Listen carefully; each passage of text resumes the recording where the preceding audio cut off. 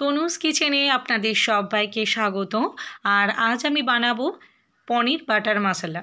একদম রেস্টুরেন্ট স্টাইলে এটা আমি বানাবো। পুরো ভিডিওটা আপনারা ভালোভাবে দেখবেন। আর ভালো লাগলে অবশ্যই লাইক করে দেবেন কমেন্ট করে জানাবেন কেমন লাগল আপনাদের এই রেসিপি আর এটা একটা রিকোয়েস্টেড ভিডিও ছিল, আমার এক বন্ধু রিকোয়েস্ট করেছিল পনিরের কিছু রেসিপি দিতে। তো পনিরের আমার দুটো রেসিপি অলরেডি দেওয়া আছে। পালং পনির আর মখমলি পনির। তো আজকের আমি বানাচ্ছি পনির বাটার মশলা। তো তার জন্য আমি কড়াই নিয়ে নিয়েছি, আর তাতে আমি দিয়ে দেবো দু চামচ পরিমাণ বাটার, আর দিয়ে দেবো এক চামচ পরিমাণ সাদা তেল।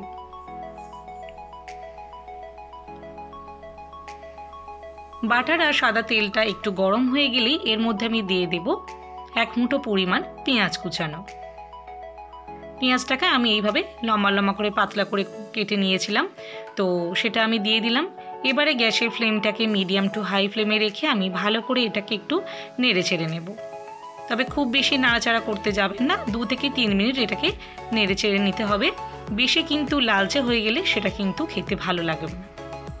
তো এরকম পেঁয়াজের কালারটা সামান্য চেঞ্জ হয়ে এলে আর সুন্দর একটু সফট হয়ে এলেই তাহলেই কিন্তু এটা একদম পারফেক্ট ভাজা হয়ে যাবে। এবার এর মধ্যে দিয়ে দেব সাত থেকে আট কোয়া রসুন আর দিয়ে দেব এক চামচ পরিমাণ আদা বাটা।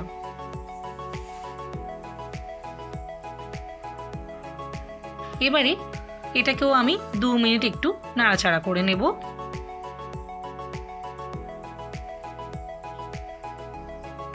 গ্যাসের ফ্লেমটাকে এই সময় লো টু মিডিয়ামে রাখবেন।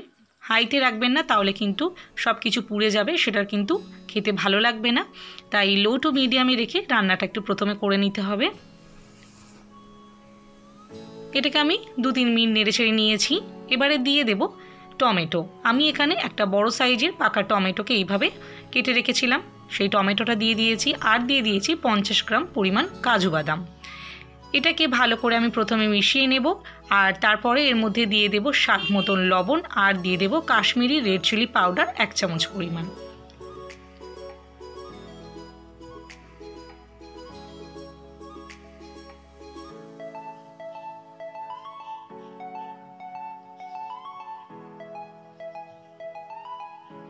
তো দেখুন, আমি এখানে লবণ আর এখানে কাশ্মীরি রেড চিলি পাউডার দিয়ে দিলাম। এবারে ভালো করে সব কিছু মিশিয়ে নেব আর পাঁচ মিনিট এটাকে একটু কষিয়ে নেব। একদম লো ফ্লেমে কষাবো। তারপরে এটাকে আমি পাঁচ মিনিট ঢাকা দিয়ে রাখব। যেই সময় ঢাকা দেয়া হবে, সেই সময় গ্যাসের ফ্লেমটাকে অবশ্যই লোতে রাখতে হবে। তাহলে টমেটোটা কিন্তু অনেকটা সফট হয়ে আসে।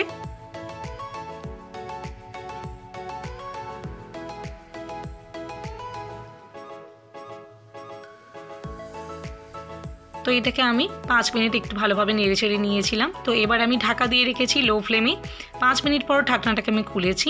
এবারে গ্যাসের ফ্লেমটাকে আমি হাইতে রেখে জাস্ট এক মিনিটের মতন এটাকে একটু আমি কষিয়ে নেব। তারপরে আমি গ্যাসের ফ্লেমটা অফ করে দেব আর এটাকে একেবারে ঠান্ডা করে নেব। ঠান্ডা হয়ে গেলে এটার মধ্যে আমি হাফ কাপ পরিমাণ জল দেব। মানে কড়াইটা ধুয়েই আমি হাফ কাপ পরিমাণ জল দেব। আর সুন্দর একটা স্মুথ পেস্ট আমি এটা বানিয়ে নেব। আমার চ্যানেলের এরকম নতুন নতুন ভিডিও পাওয়ার জন্য অবশ্যই আমার চ্যানেলকে সাবস্ক্রাইব করে রাখবেন, পাশে থাকা বেল আইকনকে প্রেস করে রাখবেন, তাহলে আমি চ্যানেলে যখনই এরকম করে নতুন ভিডিও দেব, তার নোটিফিকেশান খুব সহজেই আপনাদের কাছে পৌঁছে যাবে। তো দেখুন, এবারে আমি এটাকে ঠান্ডা করে নিয়ে আমি একটা এখানে মিক্সার গ্রাইন্ডারে নিয়ে নিয়েছি, এবারে কড়াইটাকে ধুয়ে আমি হাফ কাপ পরিমাণ জলের মধ্যে দিয়ে দিয়েছি। এবারে খুব সুন্দর করে এটা একটা স্মুথ পেস্ট আমি বানিয়ে নিয়েছি। এবারে ছাঁকনির সাহায্যে ভালো করে পেস্টটা আমি ছেঁকে নেব। তাহলে গ্রেভিটা কিন্তু খুব স্মুথ হবে, সেটা কিন্তু খেতেও খুব ভালো লাগে আর দেখতেও কিন্তু খুবই সুন্দর লাগে। তো একটা চামচের সাহায্যে ভালো করে আমি ঘষে ঘষে ছেঁকে নেব এটা।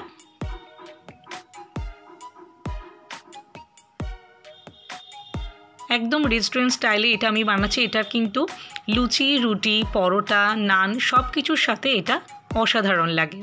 আপনারা অবশ্যই এইভাবে বাড়িতে একবার বানিয়ে দেখবেন। আশা করি আপনাদেরও ভীষণ ভীষণ ভালো লাগবে। আর ভালো লাগলে অবশ্যই লাইক করে দেবেন আর কমেন্টের মাধ্যমে জানাবেন কেমন লাগল আপনাদের এই রেসিপি আর নিজেদের বন্ধুবান্ধব, আত্মীয় স্বজনদের মধ্যেও আপনারা এটা শেয়ার করে দেবেন। তো দেখুন, আমি এখানে ভালো করে গ্রেভিটা আমি ছেঁকে নিয়েছি। এবারে আমি কড়াইটা বসিয়ে দিয়েছি আর তারপর আমি দিয়ে দেব বাটার আর সাদা তেল। আমি এখানে এক চামচ পরিমাণ বাটার দিয়েছি আর দিয়ে দেব সাদা তেল। এবারে ভালো করে এটা গরম হয়ে গেলে এর মধ্যে আমি দিয়ে দেব পেস্ট। তো দেখুন, আমি যেটা ছেঁকে নিয়েছিলাম পেস্ট, সেটা আমি এর মধ্যে দিয়ে দিলাম আস্তে করে। এবারে গ্যাসের ফ্লেমটাকে আমি মিডিয়ামে রাখব আর ভালো করে সব কিছু মিশিয়ে নেব। সমস্ত পেস্ট আমি নিয়ে নিয়েছি পরিষ্কার করে। এবারে ভালো করে এটাকে আমি একটু নেড়ে চেড়ে নেব প্রথমে।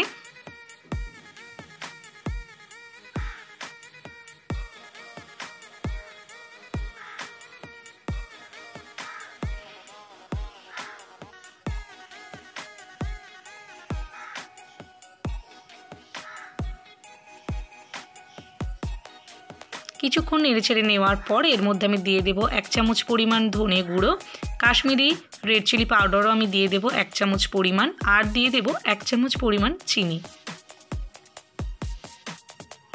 সমস্ত মশলা এবারে খুব ভালো করে আমি কষিয়ে নেব। সেই সময় গ্যাসের ফ্লেমটাকে অবশ্যই লোতে রাখতে হবে। এবার সাত আট মিনিট এটাকে একটু ভালো করে আমি কষিয়ে নেব।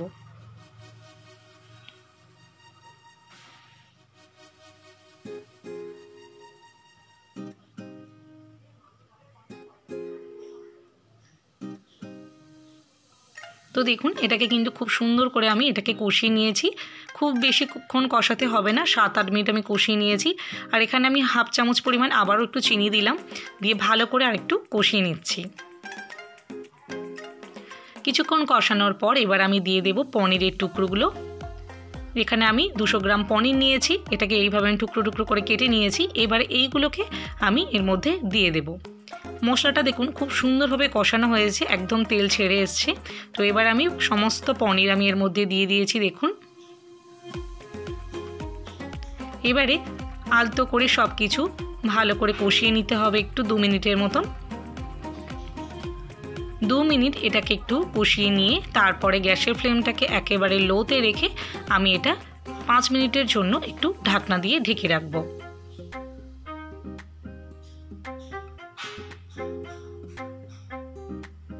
তো এটাকে আমি এখন ঢেকে দিলাম পাঁচ মিনিটের জন্য, আর গ্যাসের ফ্লেমটা কিন্তু অবশ্যই এই সময় লোতে রাখতে হবে।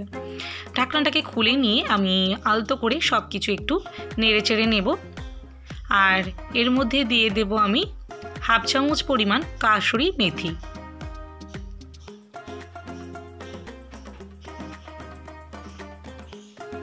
তো দেখুন, আমি এখানে হাফ চামচ পরিমাণ কাসুরি মেথি দিয়ে দিচ্ছি। একটু হাত দিয়ে এইভাবে গুঁড়ো করে। আর এখানে দিয়ে দেবো হাফ চামচ পরিমাণ গরম মশলা। শাহি গরম মশলাটা দিয়ে দিতে হবে এখানে। একদম অল্প পরিমাণে গরম মশলাটা দেবেন। হাফ চামচ বা হাফ চামচের একটু কম দিলেও ভালো লাগে। তো এখানে আমি গরম মশলাটাও দিয়ে দিয়েছি। খুব বেশি কিন্তু গরম মশলা একেবারেই এখানে দিতে হবে না। তো ভালো করে আমি সব কিছু একটু মিশিয়ে নেব প্রথমে। তারপরে এর মধ্যে আমি দিয়ে দেব এক চামচ পরিমাণ বাটার। বা আপনারা ফ্রেশ ক্রিমও ব্যবহার করতে পারেন। তো আমি এখানে এখানে এবার দিয়ে দেব বাটার, এক চামচ পরিমাণ। বাটারটা দেওয়ার সাথে সাথেই গ্যাসের ফ্লেমটা আমি অফ করে দেব আর ভালো করে সব কিছু মিশিয়ে নেব। তারপরে এটাকে পাঁচ মিনিট একটু ঢেকে রেখে আমি এটা আপনাদেরকে সার্ভ করে দেখাবো।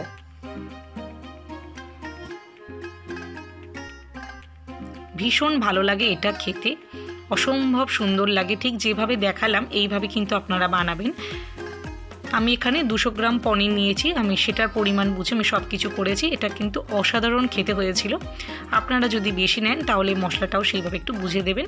আর যদি দুশো গ্রাম পনির নেন, তাহলে আমি যেভাবে দেখালাম, যতটুকু মশলা, ঠিক সেভাবেই করে দেখবেন। অসাধারণ লাগবে। আর এটা আপনারা রুটি, লুচি, পরোটা, নান প্রত্যেকটা জিনিসের সাথেই খেতে পারবেন। খুব, খুবই ভালো লাগে। তো অবশ্যই আমাকে কমেন্টের মাধ্যমে জানাবেন যে কেমন লাগল আপনাদের এই রেসিপি আর অবশ্যই কমেন্ট করে আমাকে জানাবেন আর প্রত্যেকের সাথে এটা শেয়ার করে দেবেন।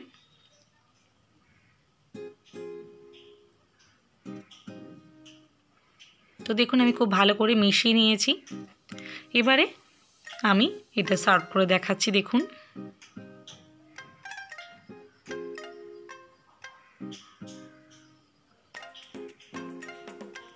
এটা দেখতেও যেমন সুন্দর, এটা খেতেও ভীষণ ভালো লাগে। আর এটা একটা রিকোয়েস্টেড ভিডিও ছিল, আমার এক বন্ধু বলেছিল, আমি পনিরের দুরকম ভিডিও আমার দেয়া আছে ইউটিউবে। আমি পনিরের মখমলি একবার করেছিলাম, আর একটা পালং পনিরের রেসিপিও করেছিলাম, সেটা আমার দেয়া আছে। ওই দুটো রেসিপিও কিন্তু অসম্ভব ভালো খেতে।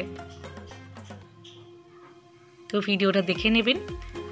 তো আজ এই পর্যন্ত, দেখা হচ্ছে পরবর্তী